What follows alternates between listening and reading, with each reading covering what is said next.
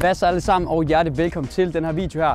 Jeg er kørt lidt syd for Vejle ned til et mega øde industriområde. Og det er fordi, at hernede i Hornsyld, der ligger der simpelthen en af Nordens største webshops. Fordi herinde foran mig, der ligger avcables.dk, og hvis I ikke kender den hjemmeside, så er det under en sten. Fordi hver gang I står og skal bruge et HDMI-kabel, et internetkabel, kabler generelt, strømkabler, I mangler en stikdåse, en internet switch, de har det fucking hele. AV Kabel er blandt andet min helt nye sponsor på min, øh, på min stream. Har ned linket i beskrivelsen. Tjek dem ud. Jeg tror slet ikke, I forstår, hvor stor en virksomhed det er. Hvor stor en hjemmeside det er. I går derind lige nu. Nu har jeg set en video her, mens I lige sidder og lytter til det, mens I lige sidder og tænker, okay, hvad er det Jackson snakker om? Gå lige ind på hjemmesiden, tjek den ud. Se, hvad der er spændende ting, fordi der er noget til enhver. Der er pisse koldt udenfor, og Anders har ikke nogen jakke på, så vi hopper indenfor. Ui! Hej så. Hej, Jakob. velkommen til. Jo tak, jo tak. Er du den nye, der skal starte, eller hvad? skal starte et nyt job. Jeg er jo kommet hele vejen her fra Aalborg for at øh, finde ud af, hvad AV-kabels er. Fordi der er nok nogen derude, der ikke ved, hvad det er. De har nok været derinde før. Mm. Men man tænker jo bare en hjemmeside. Det er jo bare en hjemmeside, men der ligger jo noget bag. Der ligger en stor virksomhed, der ligger en bygning, der ligger mennesker. Jeg har en masse spørgsmål, og øh, jeg har selv brugt lidt for mange penge herude. Men øh, det kan I selvfølgelig gå i tallene og se. I tænkte ham der Jakob, der han kontaktet os. Han har allerede brugt så mange penge herinde. Han har næsten betalt sit eget, øh, sit eget samarbejde hjem. Ham tager vi. Ham tager vi, ham tager vi.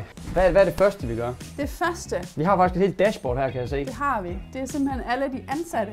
Og i Aalborg er der også lige lidt, øh, lidt IT. Der, er- ja, der, der mangler nogle billeder, vil jeg lige sige. Der, det, det er lidt mangelfuldt. Men øhm, Den er ikke lige optaget. der sidder faktisk fire oppe i Aalborg. Fem nu. Så går vi i vores returafdeling. Så starter vi. Hallo. Kæmpe bygning. Hello, hello. Halløjsa. Ja, jeg, jeg er ny i job, så jeg skal køre en omgang øh, Fedt. januar travlt. Er det en ting? Ja, du ved, så skal folk have byttet julegaver.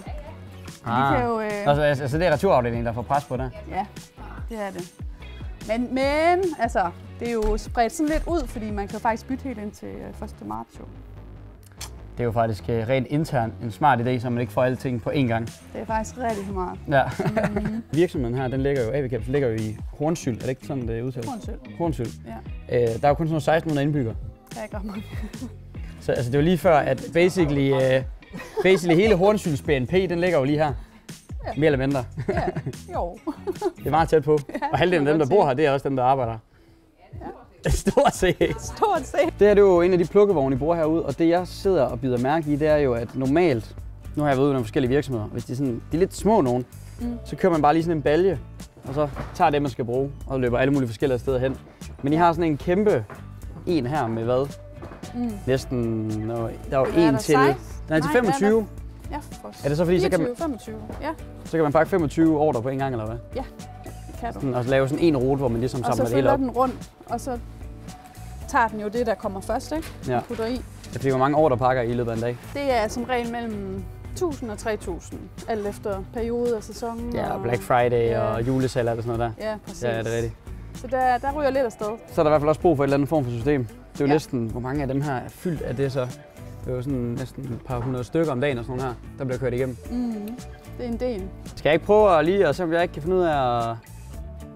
Altså, jeg er nok ikke den mest effektive medarbejder, jeg har, men jeg skal lige give det et forsøg, Ej. tænker jeg. Men du vil heller ikke komme bare for at den af, vel? Nej, nej, jeg er ikke kun kommet for at snakke, jeg er også kommet for at levere. Kom for at skabe resultater. Yes. Så har jeg sådan en der til. Hold kæft, mand. Yes. Ved du hvad, nu har jeg lige fundet øh, Josefine til dig, og så kan hun lige øh, vise dig, hvordan du øh, plukker. Lad os komme i gang. Værsgo. Hvad er det her? Det er vores scanner, og så øh, starter du egentlig bare med at trykke ind på øh, pluk og pak. Og hvordan scanner man så? Er det bare at holde den foran? Det er den gule knap, der er. Og så trykker du OK. Antal ordre, 25. Yes. Og så starter vi hernede ved etteren. Det er sgu meget hyggeligt det her. Og så starter man altid med etterne hen, og så Nu kan jeg se, nu står der et eller andet nummersystem. F126. Skal jeg så ned til F1? Ja. Og så står der 07 så scanner du bare. 6 og F1. trækker ud her. Så sådan her. Yes. Det er det bare. Det er en øh, Chromecast fjernbetjening. Silikone. Ja, så skal vi videre. Så skal ned til G1. Hvor mange står der der? Der står 9 styks. Yes. Så der scanner man. Og så skriver man 9. 9, 8. Og Værsgo. det er altså sådan en småting der. Jeg vil også lige sige respekt til ham, der i 20, 2023 køber 9 VGA-adapter. Det er godt nok lang tid siden, jeg har set den. Hvordan er det sådan, øh, altså hvis man står her og leger, leger lærermand en hel dag? Er det Mm. bare, går man bare i sin egen verden, eller er der nogle gode øh, kollegaer hernede, eller hvordan? Yes, har et mega godt fællesskab. Vi snakker alle sammen sammen, og der er ikke sådan grupper eller noget. Det er ligesom Paradise Hotel. Jamen, det, er- det er lige før. Jeg kan julefrokost nu. Nej, vi skal faktisk snart holde en fest. Det kan være, jeg skal med til AV Kabels julefrokost. Ja. Vel, okay, hvis I laver pakkelej til en julefrokost, Mm. består det så kun af HDMI-kabler? Ej, det tænker jeg ikke. Jeg tænker, vi finder på lidt andet også. Nå, okay. Det kan være, at man kan vinde en airfryer. Ja, måske. Hvor lang tid tager det cirka at pakke sådan en reol her med sådan 25 forskellige? Øhm, det tager... Altså, det kommer altså an på, hvilke ting, man skal ind og sådan noget. Men øh, fem, 25 minutter. Skal vi lige prøve at se, hvor, øh, hvor hurtigt jeg lige kan speedrun sådan her? Men tiden er allerede... Altså, den er i gang. Står det her på? Den er i gang, ja. Lige før, da vi trykker start. Så skal vi være hurtige. Nå. Jamen, øh, Anders, vi skal speedrun nu. Jeg er klar på. Sæt i gang.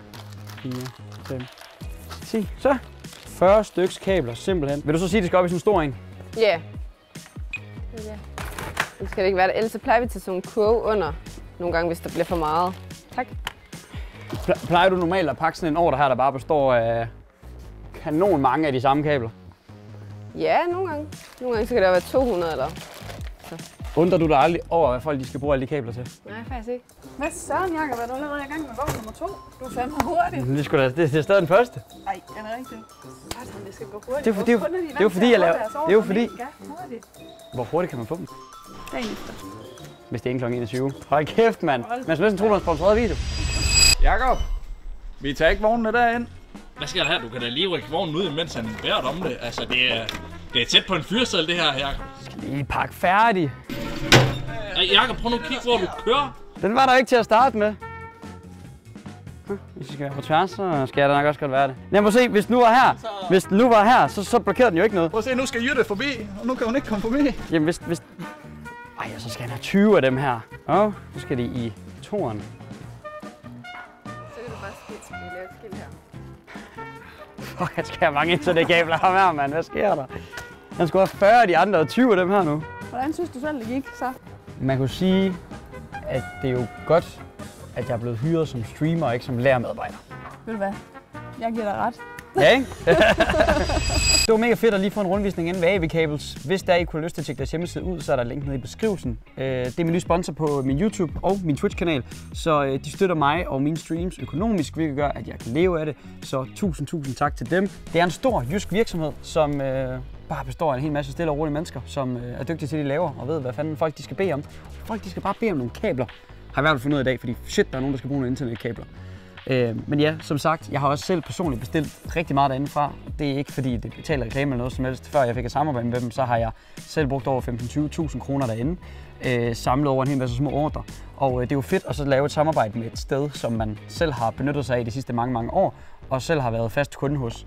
Og øh, derfor kan jeg også med god samvittighed anbefale dem til jer. En video lige slutter helt af, så vil jeg lige huske minde jer om, at inde på min TikTok-profil, der er der en giveaway sammen med AV Cables, hvor man kan vinde et par AirPods Generation 3. Nede i beskrivelsen også, der er et link til den TikTok. Det eneste, man skal gøre, det er at gå ind og kommentere på TikTok'en. Hvad koster et par AirPods inde på AV Cables side, samt man skal følge mig og AV Cables inde på TikTok. Så er nemlig mulighed for at vinde et par AirPods, som lige kan være den ekstra julegave til i år.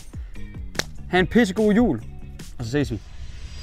Du snakker med Jax fra Kundeservice. Hvad skal du, ja, hvad skal du hjælpe med? Du skal bruge nogle kabler, ved du hvad, min gode herre. Du er simpelthen kommet til et rigtigt sted. Der er fandme glad for, at du ringede. Hvad skal du bede om? Hvad skal du bede om? Ja. Ja, ja. Og det skal være 5 meter langt. Ved du hvad, du kan få 10, min gode mand. Du kan få 10. Ja. Er det godt. Hej.